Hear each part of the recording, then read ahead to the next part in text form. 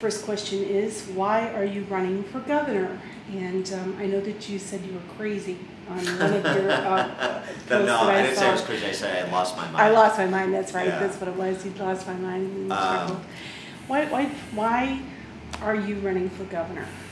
No, the real reason is um, really born out of anger and frustration, uh, both with, um, certainly with what the Chicago Democrats have done to devastate uh, the state's economy, uh, but also with uh, a seeming unwilling, unwillingness or inability of the Republican Party to put forward folks who want to stand up to the Chicago Democrats, want to take the fight to them, hold them accountable for what's occurred on their watch, and present a clear contrast vision for where Illinois can go, what the state can be if we pursued a conservative reform agenda.